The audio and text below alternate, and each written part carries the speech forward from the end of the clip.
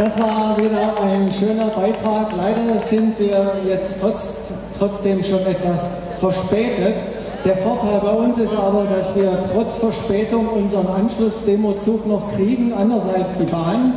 Und deshalb, glaube ich, können wir das gerne in Kauf nehmen. Es gibt unglaublich viel, was in den vergangenen äh, Tagen passiert ist, was noch erwähnenswert wäre. Ich möchte bloß ganz kurz ansprechen.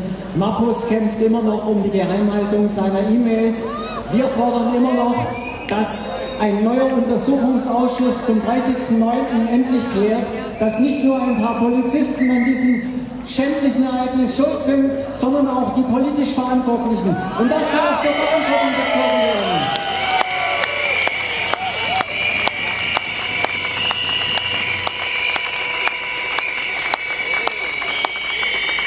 Ich glaube, es geht vielen von euch genauso wie mir, dass mich heute noch die Wut packt, wenn ich Bilder aus diesen, dieser Zeit sehe und wenn ich daran denke.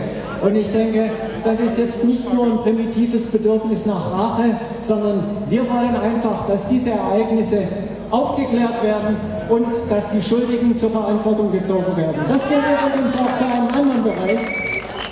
Es kommt jetzt gleich Bernhard Knierim, aber ich darf vorher noch kurz etwas sagen. Die DB AG hat sich heute wieder unsäglich in der Zeitung geäußert. Zwei Dinge möchte ich rauspicken, in der die ganze Erbärmlichkeit der Führungsebene der DB AG sich zeigt. Erstens, das Chaos in Mainz. Was ist der DB AG dazu eingefallen? Der Personalvorstand Ulrich Homburg hat angekündigt, dass durch Gutschriften von ein paar Euro, aber nur für Stammkunden, gut gemacht werden soll, was da passiert ist. Und mit diesen paar Kröten soll das verlorene Vertrauen wieder zurückgewonnen werden. Vertrauen kann man aber nicht mit ein paar Euro einkaufen, Herr Ulrich. Das geht nur durch Qualität des Bahnbetriebs. Und das können wir.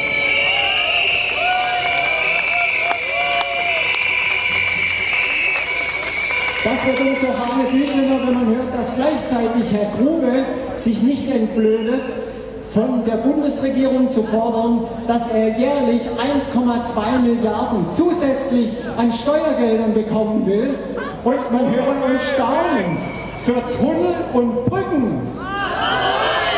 Da hätten wir eine gute Idee. Bei der Neubaustrecke können wir einige Tunnel und Brücken sparen. Vergessen wir nicht, dass es dieser Mann ist, der mit seinen verlogenen Rechnungen verantwortlich dafür ist, dass 2009 widerrechtlich die Unterzeichnung des Finanzierungsvertrages stattgefunden hat und sich dort auch noch frech gegenüber einem Reporter, der ihn auf diesen Widerspruch hingewiesen hat, äh, versucht hat zu verteidigen, auf eine ganz unverschämte Art und Weise, die mit einer Demokratie überhaupt nichts zu tun hat. Und mit dieser Unterschrift unter dem Finanzierungsvertrag hat damals auch das Unheil der Stadtzerstörung seinen Lauf genommen. Deshalb denke ich, dass dieser Mann wegen Betrug und Untreue vor Gericht gehört.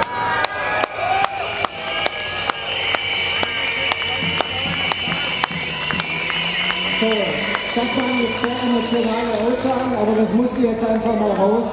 Sehr viel sachlicher wird sich mit dem Thema jetzt Dr. Bernhard Knierim von Bahn für alle auseinandersetzen, der mit Winfried Wolf zusammen auch den alternativen Geschäftsbericht der Bahn verfasst hat, der auch in der Taz unter anderem veröffentlicht wurde. Bitte, Bernhard.